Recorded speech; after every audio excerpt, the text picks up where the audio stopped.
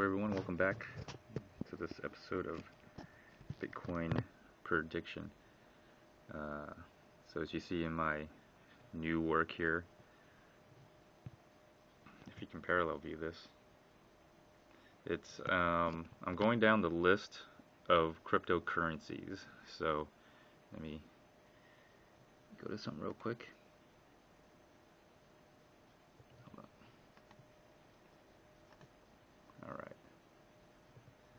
Alright, so Alright, so I'm going to try to make a list of uh, the top seven cryptocurrencies. Since I talk about Bitcoin all the time, it's always going to be there. But uh, I like to make something for Ethereum and have a you know a little backstory and then uh, prediction. I'm gonna totally ignore Ripple anything with these little asterisks, they're all pre-mined or not even mined at all. Uh, then it'll be Litecoin, Monero. As whenever I get to the order, sometimes they'll change. Um, the classic dash, and then I'm gonna skip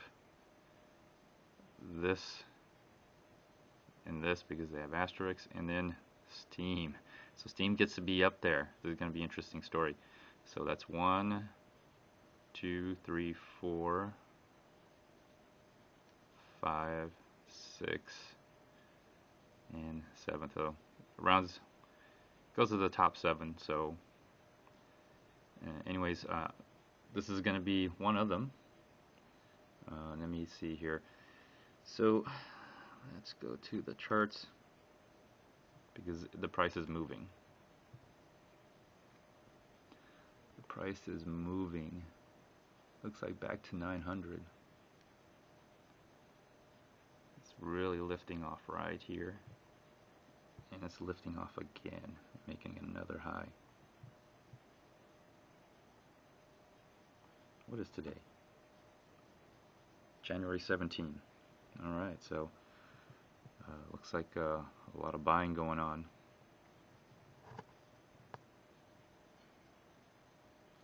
Let me see. Okay, I'm on. Uh, a Bitstamp.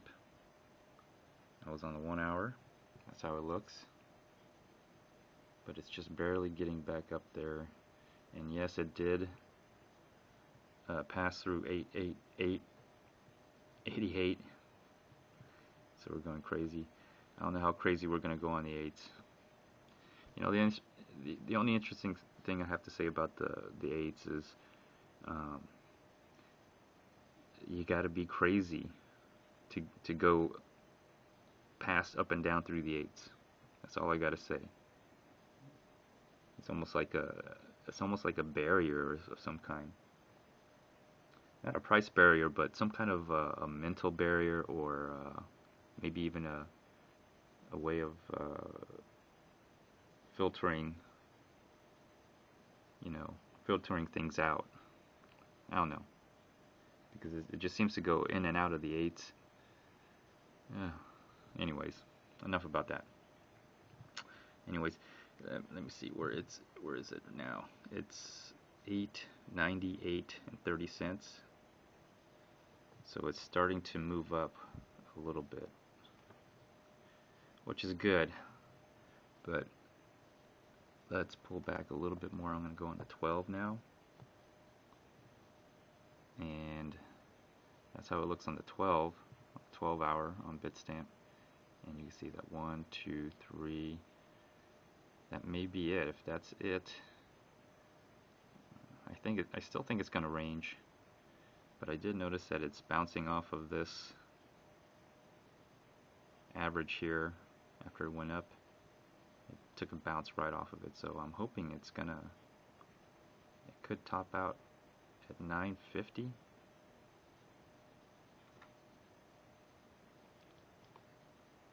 But let me pull back a little bit more on the daily because I'm really watching the daily.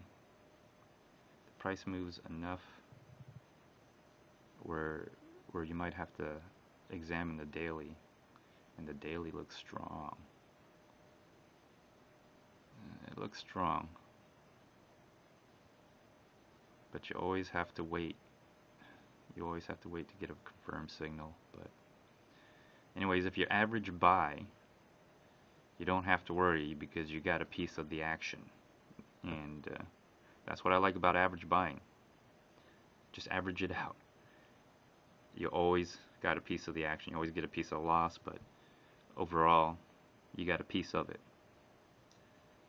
Let me see here. That looks really good. Let me pull out to, to the daily.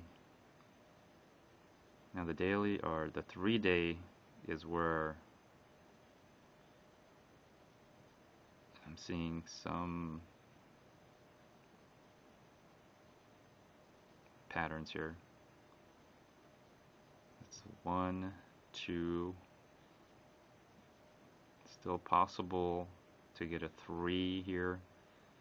Uh, but if it doesn't, then this may be restart of a first wave, and then let's see where the second wave pulls back from. And I guess if it goes above this price, wherever it ends up, uh, if it breaks above that on the third wave trying to go up, that's a probably a momentum trade where you just start again if you're average costing it's it's going to become a momentum trade for you. So you buy here and, and, you buy above it and you and you keep buying average costing on the way up. And then at, after a certain point um, you could put a trailing stop I guess or, or you could just sell out if you if you get too scared for the ride. Uh, but I think something like that could happen. Let me see one one and this is the first wait for another pullback and that's the second and then there could be a third wave going up back to it. A pullback from that and then get a fifth wave pushing pushing higher. That's on a three day but you know you have to wait three days to get a confirmation. You, you miss you miss a couple hundred but on the when you pull back on on this missing a couple hundreds just like you know a move like this from here to here. Let me see. Missing 100 bucks. Let me see. From here to well, there. So basically this green candle this one candle is about a hundred dollars. And uh, on a three day you could see moves like that. Uh, but if you if you put in perspective like you know where it's going to be going where you anticipate where it goes it's not that bad. Not that bad at all. Moving a hundred dollars to get a confirmation uh, it's a longer term trade but it pays out. It pays out. You don't have to trade as much. You just have to sit back and watch the price. Anyways uh, another thing I like to talk about is um, share another video from another YouTuber that I've been watching. I and I saw this and I just want to talk about it. Um, let me see here. This person right here. I don't know if you all seen this. Uh, this one in particular it says uh, buying selling Bitcoin with Paxful. Now I know I know about Paxful. I never trade on it. Um, and I'll talk about a little bit because it kind of relates to my artwork and audio stereogram that I made. But this person's in Canada and uh, Alberta uh, I think. Um, I've never been there but I do go to Canada and I trade Canadian dollars. So that's why I watch his videos because it's kind of kind of good to hear what's going on on the ground um, where you have an interest. So, anyways, uh, he talks about Paxful. I did make a comment on it. Uh, watch the video so you kind of know what's going on. And uh, let me see, what did I? My first thing was, you'll just watch the video. Over 35% premium. Wow. that is quite a bit the payment method that he chose. And uh, my other comments are uh, uh, I I have a I have, I have people who buy in Canada um, and tell me even when they go to the ATMs they they get they feel like they're getting raped. So uh, not that they're literally getting raped. I, I, think they feel that the prices are a little too high. Um, so after watching this video and seeing the 35% premium, I'm like, wow, that is very high. Um, anyways, uh, he did reply, and, and he said, yeah, I'll be honest, I wasn't super excited to take that hit when making this video. I much prefer uh, most other methods, but I guess if you're in a jam, at least there's still an option and read more. Uh, he says, uh, I get paid in Bitcoin from side job, so I don't buy much anymore.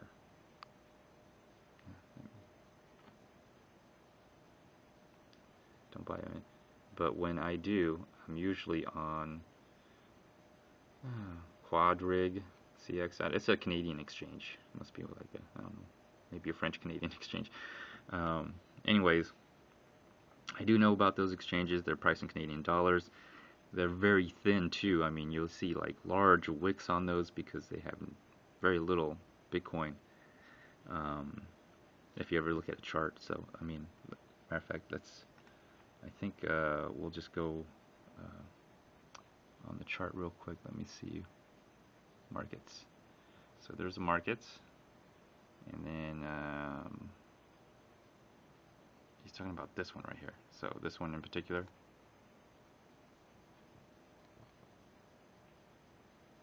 And I'm on a I'm on a daily, but uh, if you go to an hourly, actually not too bad. It's actually well, not really. You can see you can see the see how it's really really flat right here. Uh, probably a large market order or uh, somebody had a large bit of bitcoins but uh, sometimes you'll see like large wicks on these but it looks like it, it looks pretty decent so that's the price in Canadian dollars which is I guess almost $900 so anyways uh, that's what he's talking about and let me just get back to the to the video. So, um, anyways, my, I, I did have a reply. Um, if you want to cash out, let me know. I have Canadian uh, dollars and looking for sellers in Canada uh, because I, I do trade and I do go to Canada. Uh, it does help because um, that's kind of how I acquire my Canadian dollars when I go to Canada. Um, I sell I sell Bitcoin, and that's uh, one of the reasons. Uh, one of the use case, uh, probably one of the first use case, is able to take your money with you. And uh, if you if you needed to use a local currency, you just sell your Bitcoin, use the local currency, you know, while you travel, um, and going to Canada is not that hard. It's I can drive there. I don't have to fly. Um, it's great during the summer because it's cooler for me to go up north. Um, sometimes it's cheaper. And if you incorporate it in your business, Bitcoin travel, it works out. So, um, but that's the first. That's why I use it. That's that's what it's uh, first use case and so um, so that's why I, I mentioned that but I don't know maybe maybe maybe he won't sell I don't know what side job he's talking about but let me let me go into a little bit more deeper onto this and just to talk about my experiences in, in Canada okay my first hand eyewitness experience going to Canada and I, I went to Toronto and um, you know, Toronto, Canada, it's kind of interesting.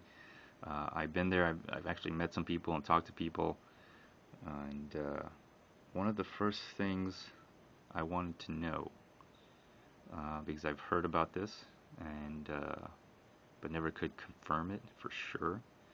And this goes in the way that this gentleman put a video out there using um, a prepaid Visa card or something, or prepaid MasterCard. Anyways, um, Paxful came around when uh, Backpage, uh, Visa, MasterCard wouldn't uh, work with Backpage because of the uh, escort section of their uh, classifieds. And that's how they were getting a lot of payments for the advertisements. And so um, they Backpage started to adopt Bitcoin, in which um, Paxful came around during that time, and they kind of really catered to the Backpage users. That's kind of their I guess that kind of was their thing. I mean, I, saw, I would read articles about that and how they're taking new users and showing them how to buy Bitcoin. Um, but anyways, before uh, before that, uh, remember how I said they Visa Mastercard no longer does business? Well, before they were doing business, uh, people were buying prepaid Visa and Mastercards, loading those up, and then uh, paying for the uh, for the listing that way. And so, uh, if they're the same users, they're very used to using, go buying a prepaid MasterCard and then, you know, sending that to somebody else, which gives them Bitcoin, which that person probably just sends it right away to, uh, to the address key, um, to the advertisement. But, um, anyways, so it's kind of interesting that this is how this video was set up to for the prepaid. Um, I I do think a lot of that does go on in Canada uh, for a very particular reason, and that's um, in my uh, findings. Uh, I do believe that uh, um, sex work is illegal in Canada. Uh, being a sex worker is is legal over there. And so uh, that opens up a whole nother related industries that service that industry. But um, and so I know that uh, I did go to Canada and ask a few people, and that seems to be the consensus. Um, so I think that's another reason why perhaps Paxful um, or these ATMs are somewhat popular in, in Canada. It's a way to pay for those um, escort advertisement listings. So there is that. And I also want to let you know when I was in Canada, this is what I saw. I was uh, in Niagara Falls on the Canadian side, and I saw I guess you could call them a couple. Um, they were kind of dressed in white, and I think uh, the woman wore wings, you know, those like fairy wings, but these were like kind of more like feathered wings, uh, kind of like an angel look. And the guy was also in uh, some kind of a toga, and uh, but he had he was leashed and the woman was basically walking him around. Like he didn't go on all fours. He was just, but he was leashed. He was on a leash. and this is at Niagara Falls. And so, um, I think, I think your personal um,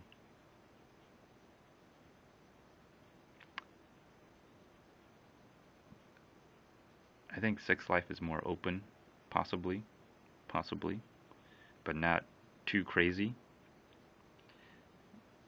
That's my opinion, but I haven't, nothing I can confirm, but that's just simple research. So I just did want to share that with you.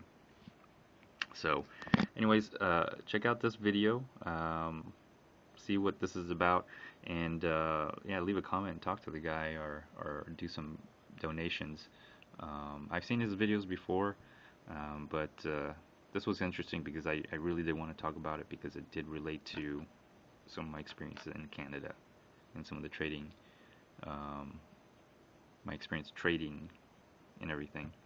Um, it's doable, it's possible, and if you frequent uh, Canada on a regular basis, um, it makes sense for you to, you know, trade Bitcoin with Canadians and vice versa. If, uh, if Canadians come down to the U.S. or travel, which often the northern borders seems to be more open than the uh, well, they're both open borders, but uh, it seems like more people would rather go to the north northern border than pass. I mean, pass through the northern borders and pass through the southern borders, driving or crossing that way. In particular, um, people would probably rather fly uh, to uh, to the southern borders than than drive past it. So, anyways, let me uh, also talk about the. Uh, let me just go back to this here. Let's go back to Bitstamp. Take a look at that final price before I, I move away. What is it? It actually moved up higher. It broke up higher again. Okay, wow. It's breaking up higher. Yeah, I think we're on a buying frenzy now. The buying frenzy has returned. Uh, let me check out the volume. The volume is really, really small. Uh, these two volume represents that price is falling. Other than that, it's been really low on average for where the price moved up from here to there. So, anyways, that's on that. But let me get back to the artwork real quick. All right, there we go. So the whole reason I, am doing this is uh, I'm gonna share my memory of this. And uh,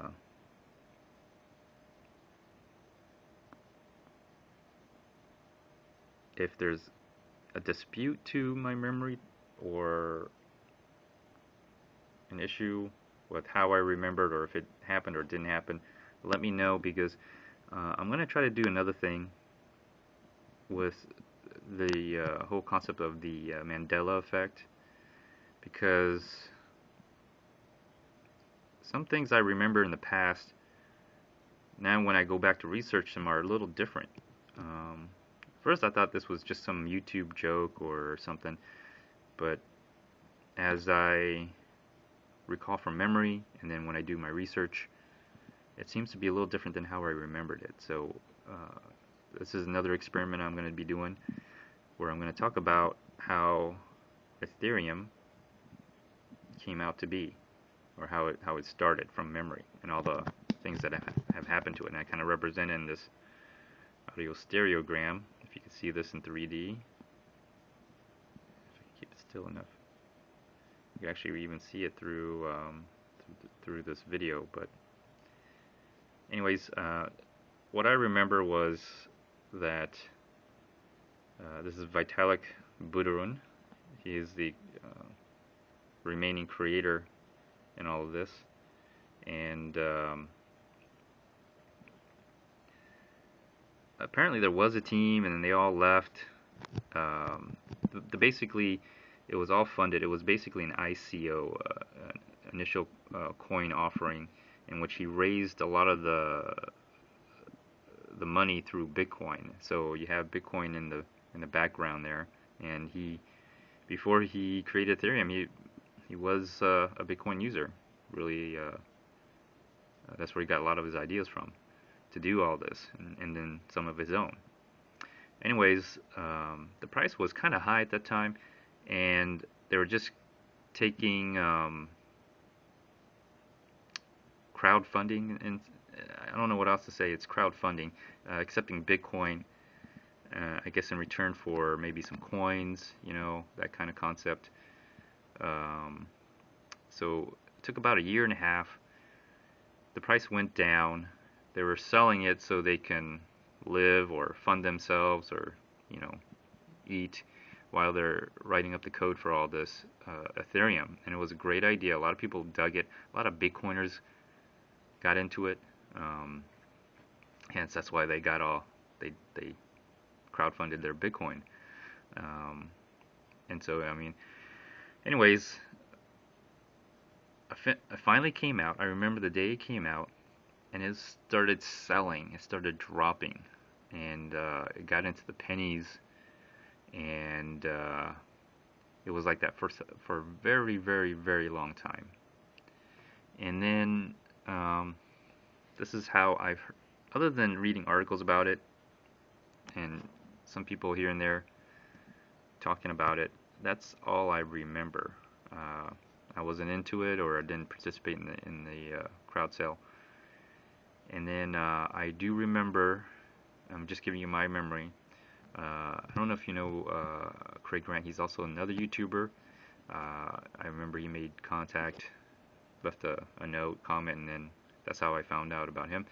And he started also coming out on the um, daily search. I, I do a, a, YouTube search of Bitcoin and today, and I it's always interesting to see new people, new faces, and uh, more has come on since then. I mean, really. But uh, I started watching him, and that's when I first heard somebody actually getting into Ethereum.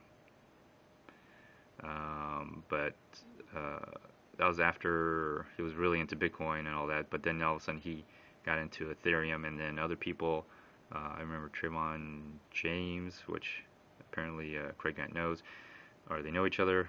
Um, but then he got into Ethereum. Then crypto came out, and crypto was into Ethereum, so he started making uh, videos, um, and it, things got really exciting. Um, price started moving up.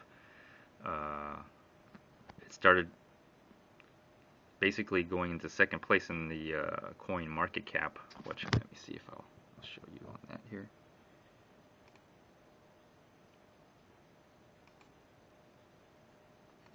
Uh, right here.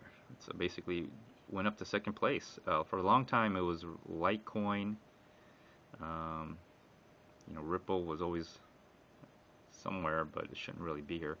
Uh, but for a long time it was Litecoin and then all of a sudden Ethereum took that place right here. And uh, man it was in the billion it was almost a billion dollars market cap. It's never reached that since then.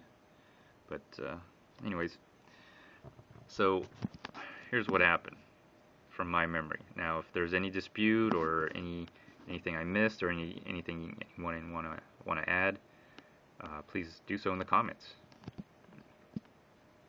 And so uh, the price was going up and then a lot of people started talking about it. Other people started uh, getting into. It. I saw a lot of videos on about Ethereum. Um, you know, uh, it's proof of work now, but it will go to proof of stake, and they're talking about I don't know homestead and this. They had different names for different phases of it, um, but eventually it got to a point where all of a sudden they could uh, you could use these uh, tokens, the gas, um, to do dApps, and one of the first use applications was the DAO. And the DAO was supposed to be this autonomous, decentralized autonomous organization where uh, you just put all your money in this thing and everyone would get a, a vote to how much interest they had in the DAO to do things, where the money would go. And so the only way you could fund it was with your gas tokens, which were treated like currency tokens, right? Or, or redeemable tokens or something like that. And so a lot of people put a lot of Ethereum into DAO, and some people traded their bitcoins for DAO, uh, for Ethereum to get into it. And it got huge, like 150, I don't know, was it 150 million? Or yeah, 150 million, somewhere around there. I don't think it was a 150 billion or trillion. I think it was 150 million. It was a lot. It was a lot for a crowd fund. And so basically, it was a crowd fund for a crowd fund. Anyways, um, for those who don't know what happened, the the DAO was the DAO was nothing but code, software code, and someone was able to find a way to exploit a weakness where uh, they were approved of themselves to receive an X amount of uh, DAO tokens, which represented Ethereum tokens because they were tied to the Ethereum that was loaded into the DAO. So basically, you traded your Ethereum to get DAO tokens, and that DAO token represented one Ethereum. So it was one to one. So basically, you were. So the DAO tokens were transferred into someone or something uh, to another child DAO, which would be released in about 30 days. And so um, it was a big mistake. it was a it was a big disaster. This project. So, and this is where the uh, the fork comes in, and this is why you see it, the the uh, Ethereum symbol and the other Ethereum symbol, which is Ethereum Classic, and this is uh, Ethereum, I guess people, uh, ETH, So, and this fork right here represents that event in which um, they had to reverse all those transactions to the point where no, the DAO never happened. The DAO didn't exist. So everybody got their Ethereum back. And then at that time, um, something happened where a group of people thought that that was wrong and they should continue on with the original chain and that's where the Ethereum Classic is and I, I kind of like that symbol if you can let me see if you can see that a little bit better if you're audio if you're parallel viewing this it's uh, can see it through here it's kind of well it just comes out right at you anyways um, so that is the Ethereum Classic symbol in there. So that's what I got. And so that's what that's what happened, and that's why you got the two forks, two parallel chains, one running uh, on its own, the original. Um, I wouldn't say the original code, but I would say the well, it's, not original, but uh, it's the the chain that's by itself, I guess. Uh, that's it's it's the fork of the original Ethereum, and then the original Ethereum back there kind of runs along up there, up on top, parallel forks, and uh, I, I, it's kind of fitting that it's up on top with Bitcoin up there because uh, it is original concept. A lot of Bitcoiners did get into uh, Ethereum, um, thought it was a great technology, uh, but when it forked, they didn't really agree with uh, that fork. So that's where you got the two Ethereums. But technically, uh, uh Vitalik uh, Buterin is actually the creator of both of these forks, technically. So that's why they're both in there. Anyways, so thought you should all know about this if you're new to any of this. Um, if I'm wrong on any of this, or if, if something you want to add or update people, leave a comment. Um, Google does a great, not Google, uh, YouTube does a great job of filtering spam. So if it shows up, then it, it's going to stay up. I'm not going to alter it or change it. Uh, so uh, anything goes. So anyways, this is my 3D autostereogram art and uh, also uh, the colors in the background are colors of uh, flag of Russia where apparently he was born uh, but he also uh, moved to Canada and is now um, in Switzerland. So if you're wondering where all your Bitcoin money or Ethereum money is it's probably in Switzerland somewhere at least the cash side but anyways um, hope you all enjoyed this Oh, my prediction. Uh, I almost forgot. So here's my prediction for uh, Ethereum. Um, I do predict uh, Ethereum to do very well. It, it, will it will make people a lot of money, those who have invested in it, but uh, it would only do well in the old world. Um, once they go to proof of stake, they'll be cemented with the old world, and uh, you know once that happens, they're that's where they're going to be forever. You know because that the the the the way it's the Ethereum, the ETH Ethereum, seems to be like uh, what's what the old world has to offer right now is just that you're getting into uh, into the cryptocurrency space, just a new frontier of the same way of doing things, where uh, you have interest.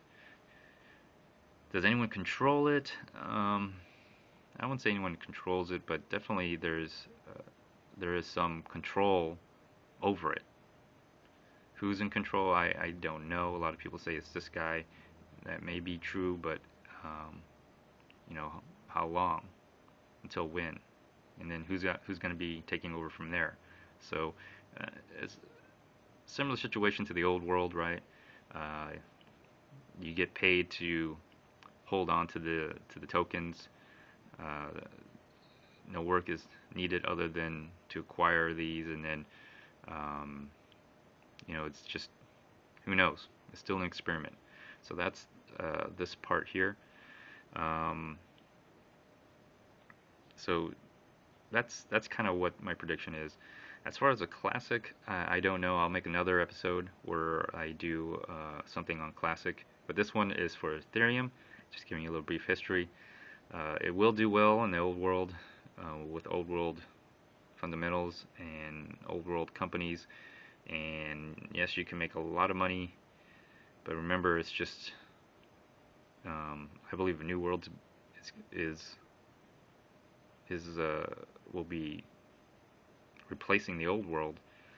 So uh, you don't want to get left behind.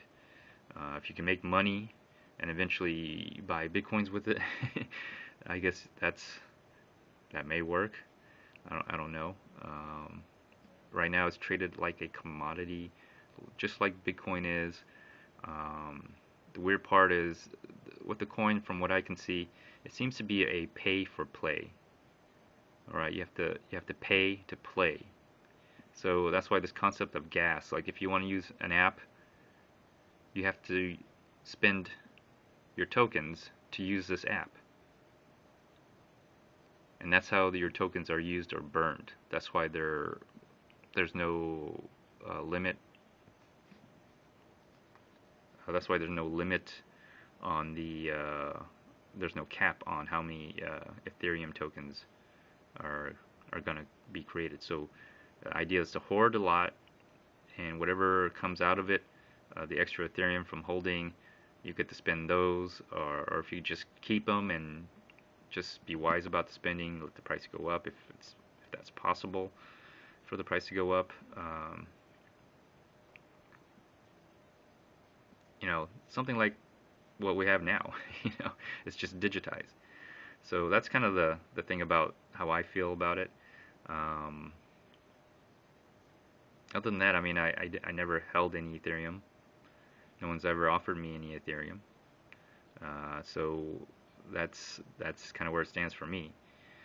Um, other than that, I mean, we're looking at two parallel universes running side by side, and it'll be interesting to see what what happens. Um, so, anyways, that concludes my episode. Uh, feel free to uh, like, dislike, uh, leave a comment, or even do a video response. Until next time, stay tuned. Bye.